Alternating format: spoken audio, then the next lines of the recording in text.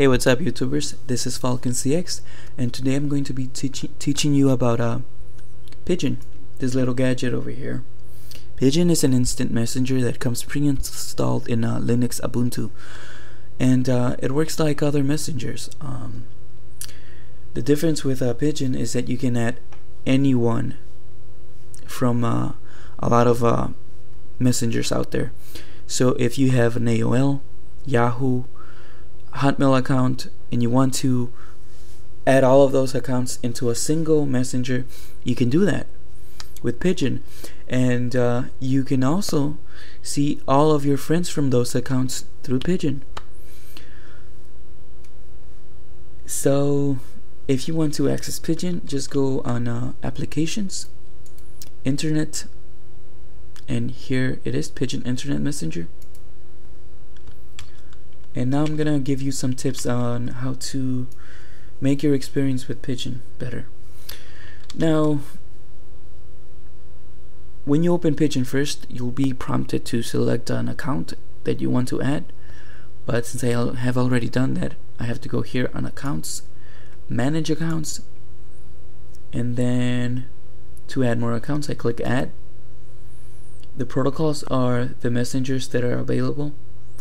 So it has AIM, all of these other ones that I haven't heard of ICQ, IRC, MSN, MySpace, Yahoo, a lot of them, and you can add any of them. Providing that you already have an account with uh, the messenger of your choice, uh, just type the username, the password. If you want the uh, messenger to remember the password for that uh, particular account, select this otherwise every time you open the messenger it's gonna ask you for that password. Your local alias that's uh, the uh, username you want your friends to be uh, seeing every time uh, they're chatting with you. Uh, if you want uh, to receive mail notifications if you have received new mail for that particular account checkmark this. Checkmark this if you want to use an icon or display image for that particular account and uh, just double click on the icon and you can look for images that you may have on your computer. Do not use JPEG images unless they're pretty small otherwise they might not work properly and your friend that you're chatting with won't be able to see them. If you don't have PNG images just do a Google search for what you're looking for. If you're looking for dragon uh, do dragon.png on Google and you'll be able to find a few. Uh, I'm gonna select the tiger.png and just click open and it'll select it for you. So save once you have finished that save it and uh, it'll, it'll add it right here on all your accounts. You can add as many as you want from uh, as many protocols as you as you need. Now, something that's annoying with uh, Pidgin is uh, getting random messages from bots. Bots are people that keep sending automated messages to random emails. So it's annoying, and I'm gonna show you how to block that, uh, block that stuff. Uh, let me show you an example of uh, what a bot message looks like.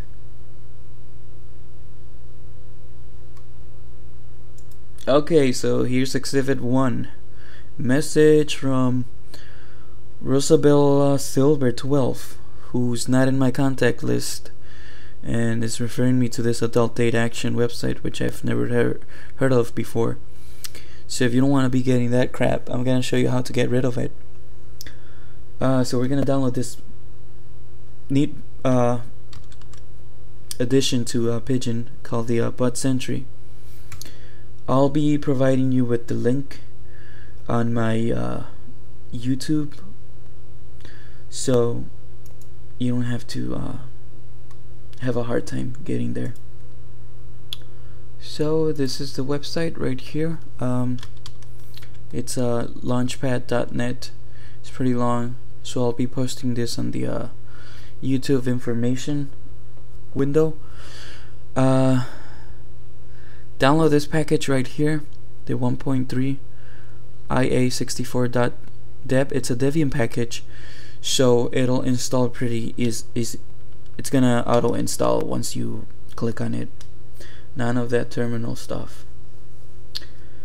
So once you have installed that uh, go to your Pidgin and uh, go to tools go to plugins. Select bot, uh, the uh, Sentry 1.3 and then we're gonna configure it. Configure plugin. This is the question that's always going to be asked the bot. How do you spell the number 10 and they have to spell it correctly otherwise they they will be blocked permanently. Uh, now make sure you check mark this otherwise if uh, one of your friends has uh, you have added one of your friends and they want to become your friend they'll be asked this question and if they answer correctly uh, they won't have to answer the question again once they uh, try and do it one more time since they're gonna be in your allow list okay? So yeah check rank that this is an example of what it does. See this message was blocked because the bot could not answer the question. So I won't have to deal with this Elma the surf this the uh, whatever again. Okay uh another thing about Pidgin uh, is uh, you can add groups or delete groups. Uh, let's say if you want to add groups for family, you can do that and drag contacts from uh, any group to the other group. You can also delete them by right clicking on them and selecting delete. One more message blocked. That's good.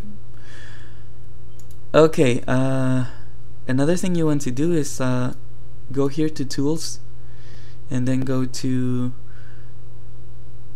preferences and go to sounds. Here you can select the sounds you want to hear or not hear. I have deselected message received and message sent because I find those annoying to be hearing a noise every time I send or receive a message. These are the only two that I have checked. So you can customize this the way you want for the sounds. Now, if you don't want any sounds, just just mute the sounds right here. Uh, you might also want to install smiley themes because you only have a default one pre-installed. If you want more smiley themes, just go to System Administration, Synaptic Package Manager, do a search for Pidgin themes and select that click apply and you'll have more themes installed now one more thing.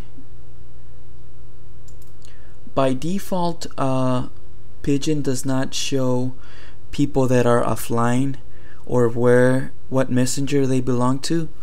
So you can uh, make the messenger show this for you. And here's how to do it. Click on buddies then click on show and uh, check mark all of these things you want to show uh, if you want to the other thing to show uh, offline buddies do that empty groups you can also do that your buddy details people that are idle protocol icons are the uh, icons that show you where that uh, contact belongs to. So this contact belongs to MSN Messenger, so I get this one. So yeah, you can customize what uh, the messenger shows you. You can also sort your buddies by stat. By default, it's set, a, set as uh, alphabetical. So if you want to do by status, do that one. Status is the best one in my opinion because that one shows who's online uh, on top and who's offline all the way on the bottom. Uh, you can send and receive files with uh, with uh, Pidgin, so you don't have to worry about that. It's the same way as you may do it with other messengers.